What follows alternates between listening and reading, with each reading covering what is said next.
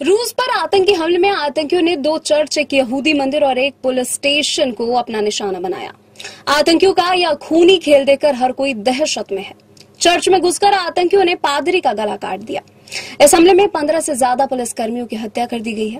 काले कपड़े पहने हथियार बंद लोग पुलिस वाहन और सड़कों पर घूम रहे लोगों पर गोलियाँ चलाते हुए दिखाई दिए। सोशल मीडिया पर इस आतंक का वीडियो काफ़ी तेज़ी से वायरल हो रहा है। बहुत लोगों के घायल होने की भी खबर है। हालाँकि मृतकों और घायलों की संख्या के बारे में आधिकारिक जानकारी सामने नहीं आई है। लेकिन रशियन पुलिस ने सात आतंकवादियों को भी ढेर कर दिया है। इससे पहले तीनों इलाकों में तबाही का मंजर देखने को मिला।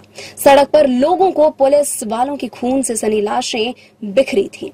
आतंकी हमले के वीडियो सामने भी आ रहे हैं। चर्च धू धू कर जला। वहीं लोग इधर उधर भागते हुए दिखाई दिए। आतंकियों से मुठभेड़ अभी जारी है। रिपोर्ट के अनुसार दक्षिण में बसे राज्य दागिस्तान के डरबेट शहर में आतंकी हमला हुआ है। रूस की नेशनल एंटी टेररिज्म कमेटी ने पुष्टि की है कि रूस के मुस्लिम बहुल उत्तरी काकेशस एरिया में आतंकी हमला हुआ है। यह एरिया यहूदियों का गढ़ माना जाता है। दागिस्तान पब्लिक मॉनिटरिंग कमीशन के अध्यक्ष शमील खादुलेव ने बताया कि पुलिस अफसर माउलुद्दीन खरीन बिएव भी आतंकी हमले में मारे गए हैं।